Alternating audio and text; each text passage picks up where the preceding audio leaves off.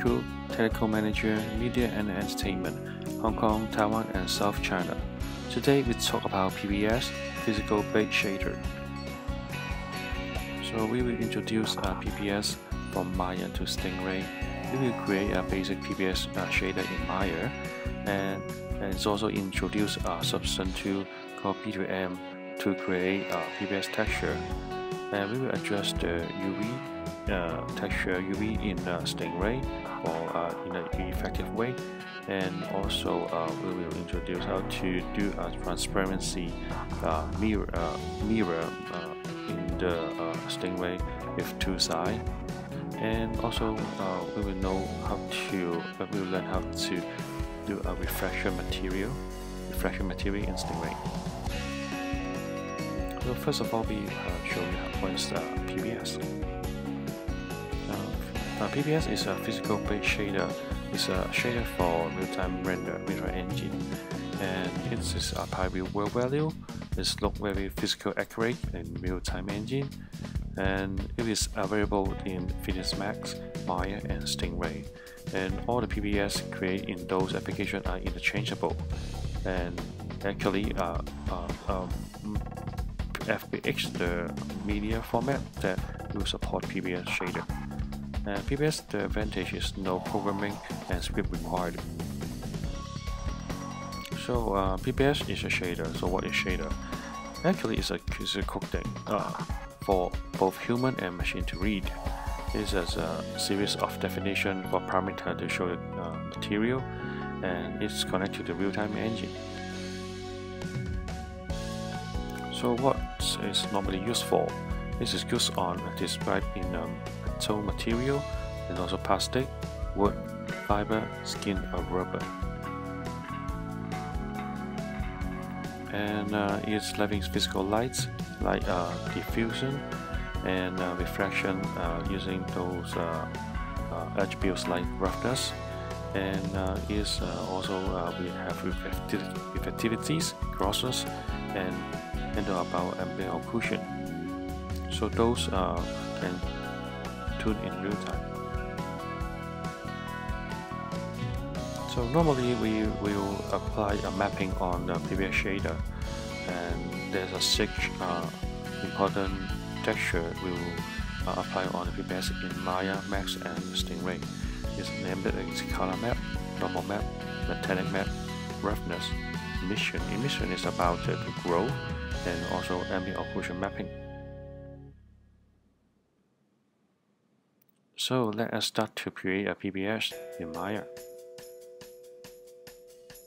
So uh, in the following, we will prepare, a basic model and PBS shader for in Maya for Stingray.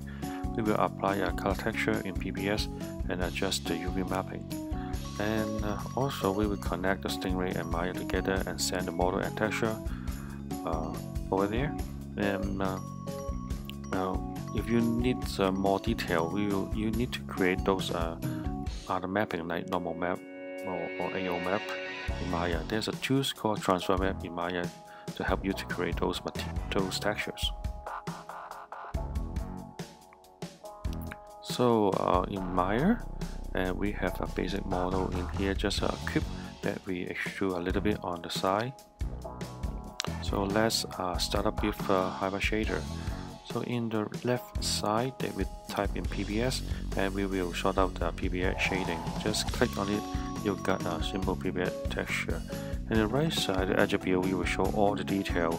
You can fine tune like the base color, metallic or roughness to define its uh, materials. So um, after tuning a little bit, then you can just drag and drop your shader into viewport Maya and it will apply your sh uh, shader.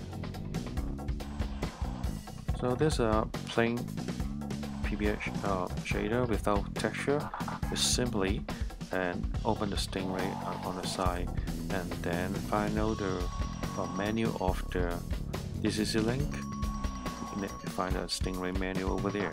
Then we just connected the um, Sting, uh, Stingray with Maya and then turn on the uh, live camera select the object in the uh, object mode and we can find the cameras linked together and we can send selected model to Stingray.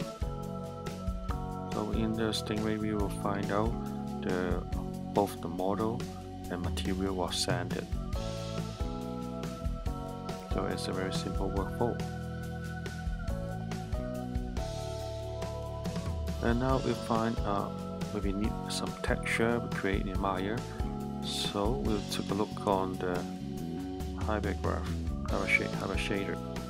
Uh, in the right side in the attribute, we'll check on uh, color, color mapping, and in the folder we will search for a simple wood texture and apply on it.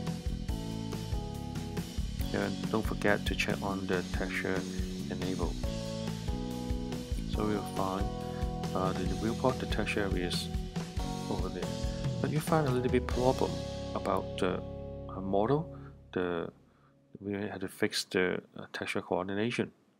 So we change into the uh, UV mapping tools and in, in some surface area you got a problem.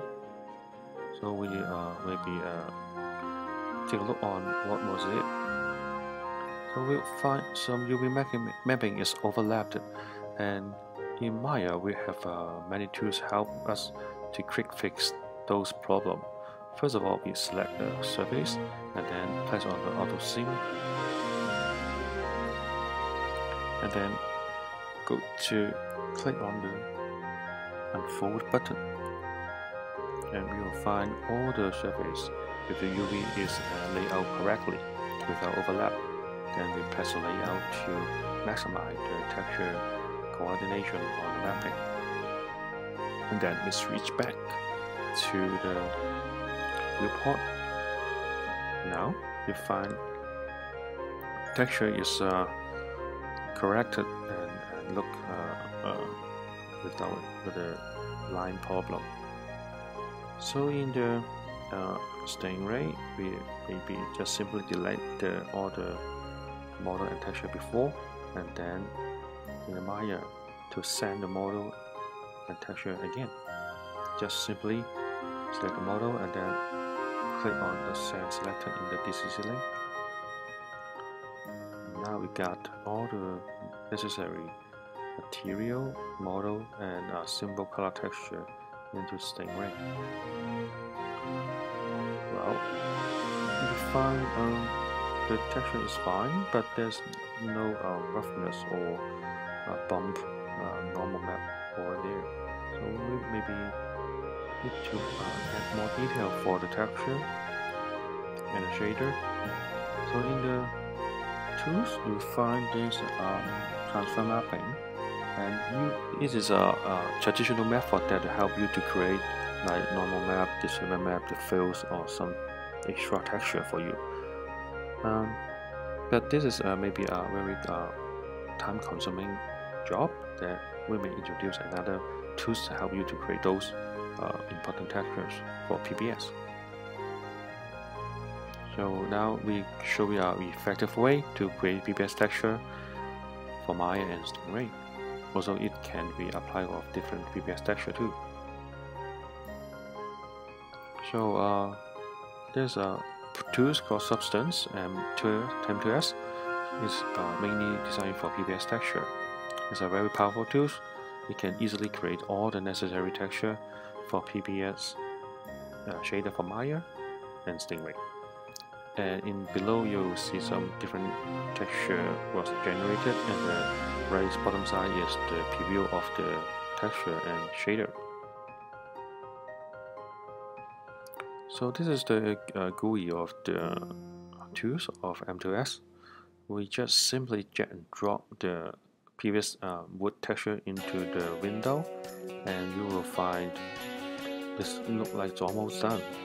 And you may here to fine tune some uh, details. In the up side you will see all the texture you will need it, it will be already generated for you. And in the right side you got all the attributes. So first I will tune up about the output side of the uh, texture with 1K and then we may be it to our tile mode then select some option for tiling and also add some attribute to control the tile method for the transition.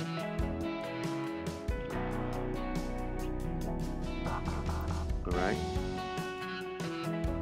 Then go to diffuse mode. You can change the color texture of the the original texture if uh, like this one I trying to change the saturation. And also the roughness actually is adjusting the uh, normal mapping the roughness texture and as you get more rough for the impression then the metallic and I want to have more fraction then we can adjust over here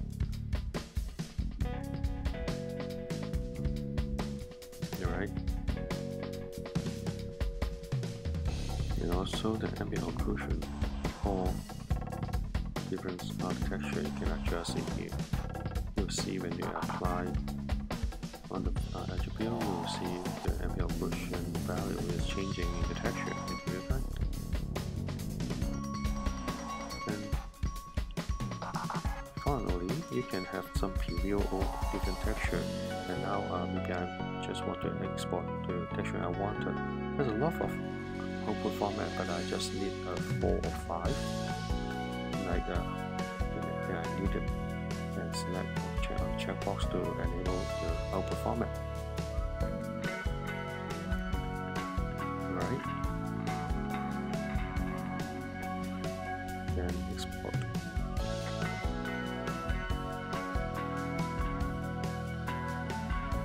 So let's go back to Maya and then uh, first of all the texture is not applied yet and we go back to the Hyper Shader select our previous material and we can um, apply all the mapping that we generate from the uh, substance M2S like color map and then we select the normal mapping.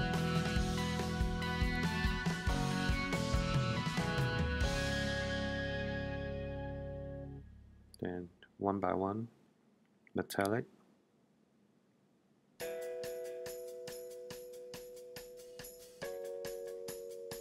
roughness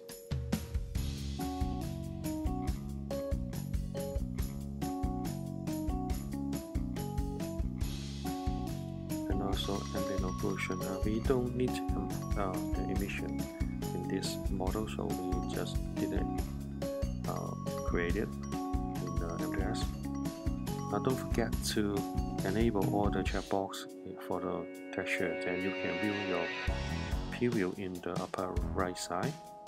Then you got a detailed texture line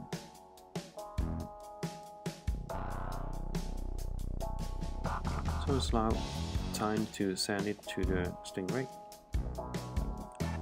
uh, simply select the model using the same tools uh, this is the link connect and then send selected so that's the way that just a few minutes demo. You can create all the necessary texture with the wood with included um, ambient occlusion uh, roughness uh, normal map everything you needed Stingray. Check on the uh, shader, we got all the same hierarchy structure of the shader from Maya to. Alright, now it's time to talk about the two-side shader. So normally, uh, we have a surface that uh, will have surface normal, but one side will be light, another one and the side will be transparency.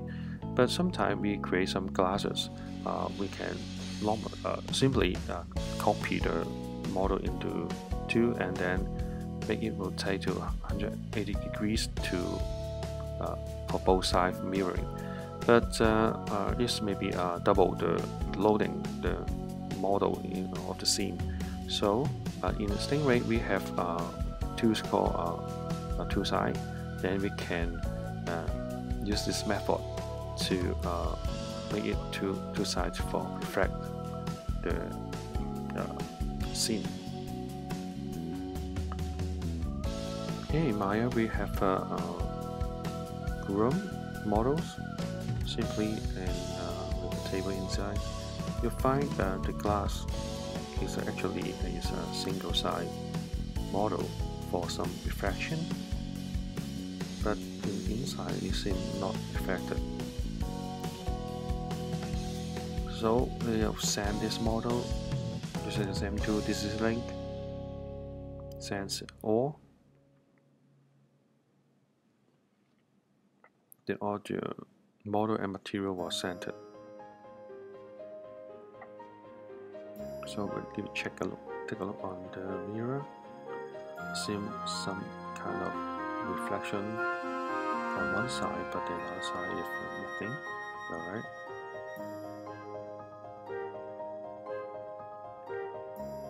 okay and uh, in below we now we want to go to the shader of the uh, glass. Beneath. Go to the material and select the glass PBS and then in the right side in the property editor to make the shader that you need and then this become an open shader graph and we click on the open shader graph to build on the uh, detail of the shader. So here's the standard base then. In the right side there will be a, a face coloring is back. We will uh, turn it into double side and then save it. Then we will find that the reflection is come back for both sides for the shader so it's very simple edit to have a single polygon have a two side reflection and now we can turn the tune the roughness or metallic to get a better result.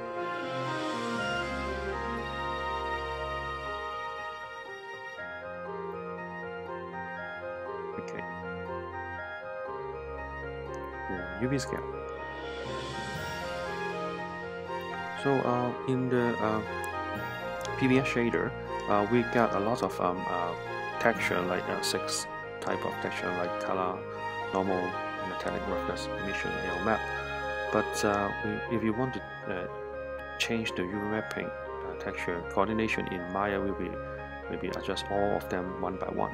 But in Stingray, we got a UV scale that you can adjust the UV coordination, all the texture in a single control.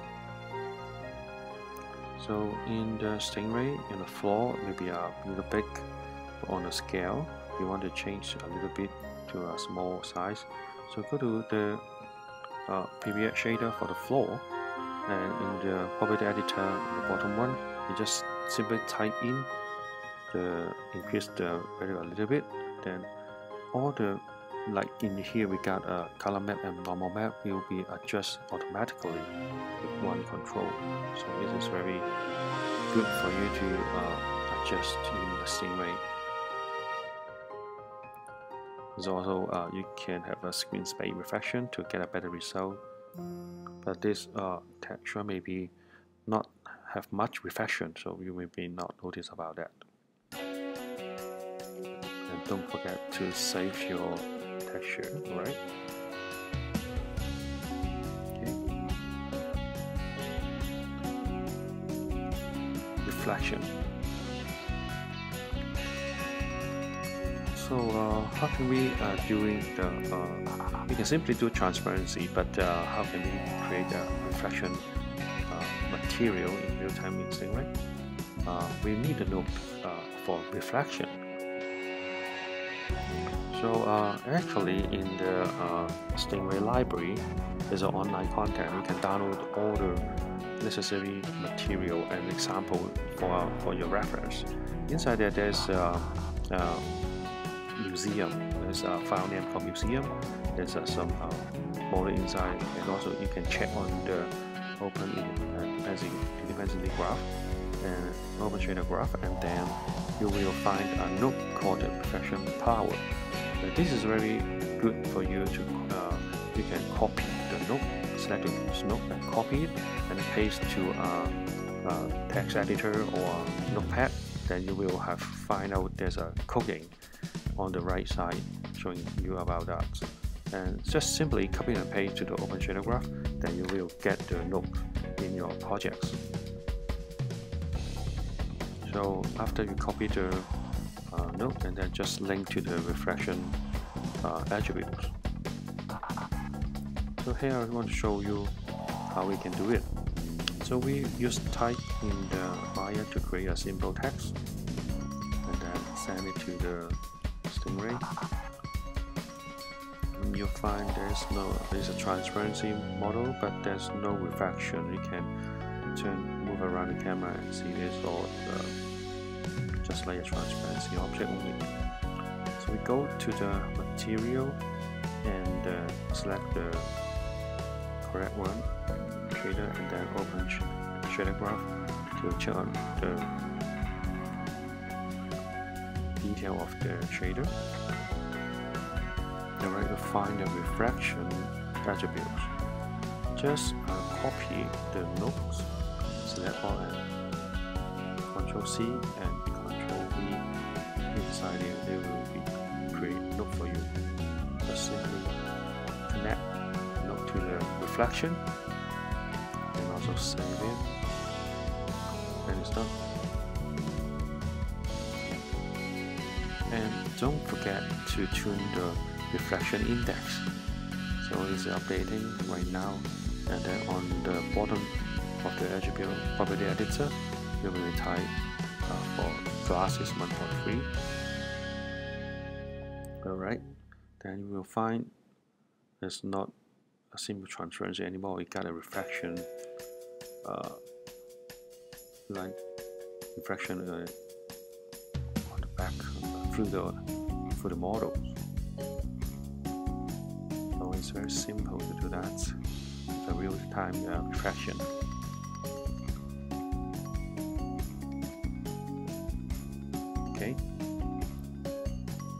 so for the better result uh, you can have some like uh, another example like a diamond. I just uh, put the uh, reflection index into 4 and you will find some uh, amazing reflection. And also the polygon shape is very important how the result it can be. Alright uh, Today we introduced the BPS shader for you for Maya to Stingray and then we show you how to create a BPS um, shader. Then we use a tool called Substance B2M and it is an effective way to create PBS textures. We also show you how to use the UV tools to adjust all the PBS texture in a single control and we show you the uh, PBS how to create a gas in the both side uh, two side reflection and also look in the library you can uh, get it from download from the online uh, uh, template uh, project.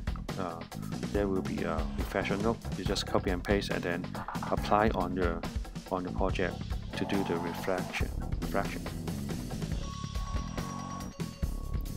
and what's next? Uh, we will go to talk about uh, Stingray Flow and also in 3ds Max. It will come with uh, 3ds Max Interactive. This uh, similar is a uh, tools for do the interactive like Stingray and we will call we will show you about uh, how to use flow to create some uh, logics uh, for the interactive. Thank you. Goodbye and see you next time